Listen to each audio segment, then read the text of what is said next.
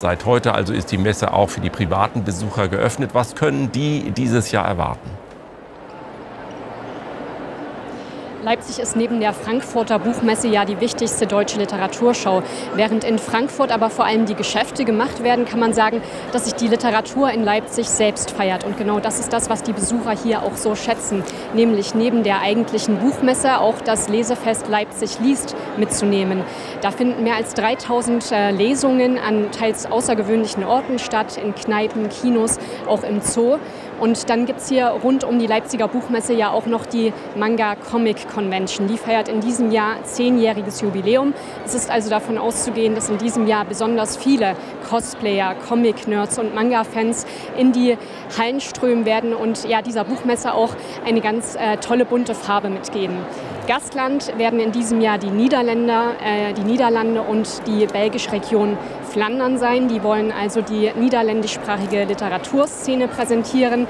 Der Vorverkauf für Tickets für die Leipziger Buchmesse lief sehr gut und insofern ähm, erwarten die Veranstalter hier ganz tolle Tage. Wie steht es denn allgemein um die Buchbranche? Mit welchen Hoffnungen kommen die Verlage zur Messe nach Leipzig?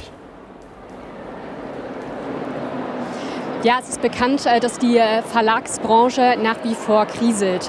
Ähm, es ist von Sparmaßnahmen die Rede, auch von Stellenabbau.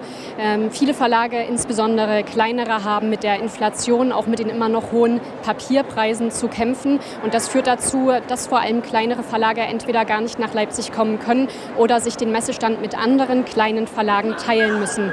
Aber die neue Buchmessedirektorin Astrid Böhmisch hat auch betont, dass ähm, die, äh, der Zuspruch der Aussteller immer noch ungebrochen ist. Vor allem die großen Verlage sind hier am Start, mehr als 2000.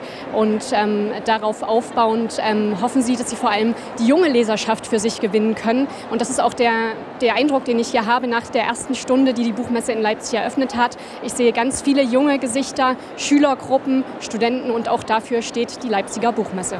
Wo wir gerade bei den jungen Leuten sind, aktuell soll es da einen Trend geben äh, namens Book Talk. Was genau verbirgt sich dahinter und welche Rolle spielt das in Leipzig? Ja, Book Talk könnte man sagen, ist so eine Art modernes Feuilleton. Es bedeutet ganz konkret, dass junge Leser Bücher empfehlen und auch kritisieren auf der sozialen Plattform TikTok. Äh, dort werden also einerseits Bestseller geboren, dort werden aber auch ähm, ja, die Klassiker wiederbelebt, kann man sagen. Junge Leute erzählen dort, welche Bücher sie bereits gelesen haben, welche sie noch vorhaben zu lesen. Und das kann natürlich der Verlags- und Buchbranche nur gut tun. Denn äh, BookTok findet mit einer extremen Reichweite statt. Weltweit gibt es mehr als 30 Millionen Einträge unter dem Hashtag BookTok.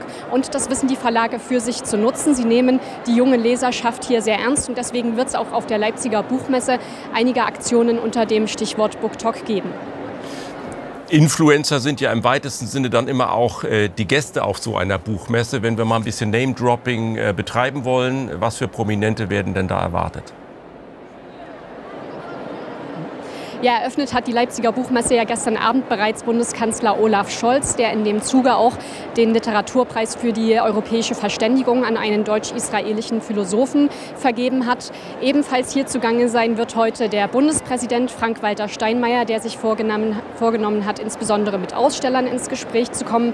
Dann, um mal einige berühmte Autoren zu nennen, wird Bernhard Schlink hier ein neues Buch vorstellen, auch Marc-Uwe Kling, der mit einem Kinderbuch am Start ist. Ähm, die zwei Schauspielerinnen Uschi Glas Glas ähm, und äh, Sandra Hüller werden hier sein und auch der Ex-Profi-Fußballer Thomas Hitzelsberger, der sein neues Buch über Vielfalt im Fußball vorstellen möchte. Und dann gibt es am Nachmittag auch noch was zu feiern, denn der Preis der Leipziger Buchmesse wird zum 20. Mal verliehen. Kann man denn schon sagen, wer sich da Chancen ausrechnen darf?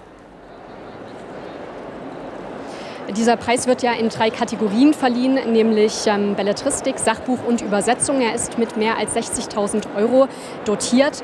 Und ähm, mit Blick auf die Nominiertenliste ist aufgefallen, äh, dass vielen Kritikern die Namen, die dort ähm, ja, stehen, gar nichts sagen. Das ist also das Besondere. Offenbar war es der Jury in diesem Jahr besonders wichtig, nicht ähm, den Verlagen und Autoren äh, eine Chance zu geben, die ohnehin in den Spiegel-Bestsellerlisten zu rangieren, sondern eben ähm, eher den kleineren Verlagen und noch unbekannten Autoren die Chance zu geben, den kleinen literarischen Schätze zu würdigen. Besonders ist auch, dass in diesem Jahr äh, zum ersten Mal ein sogenannter Graphic Novel auf der nominierten Liste steht. Das ist also eine Art Comic, in dem Fall äh, der Titel Genossin Kuckuck von Anke Feuchtenberger. Das ist also ein aufwendig inszenierter Bildband, an dem mehr als zehn Jahre gearbeitet wurde und der vor allem von seinen grafischen Darstellungen lebt. Auch das ist neu. Leipzig versucht also hier auch Trends zu setzen. Wer am Ende da aber das Rennen machen wird, darüber wage ich an der Stelle noch keine Prognose.